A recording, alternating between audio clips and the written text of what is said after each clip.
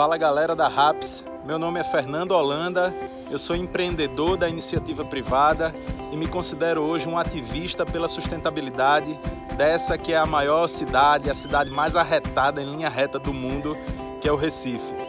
Participo da RAPS desde 2014, quando tive a felicidade de ingressar no projeto Jovens RAPS. Depois, no ano de 2015, quando participei do projeto Líderes RAPS e no ano de 2016, quando tive ao lado da organização nessa que foi a empreitada mais fascinante da minha vida, que foi me colocar à disposição através das urnas para representar as pessoas, para contribuir com a transformação social da minha cidade, do nosso país, do nosso planeta. Eu não tenho dúvidas de que a política é o maior caminho de transformação social que a gente tem e que a RAPS é a organização que ensina que ética, transparência e sustentabilidade são sim princípios para a gente seguir nessa atuação política, mas principalmente são princípios para a gente seguir na nossa vida. Eu me considero uma cria da RAPS tenho a felicidade de ter vivido experiências fascinantes através dessa organização, como ter debatido política urbana na favela do Vidigal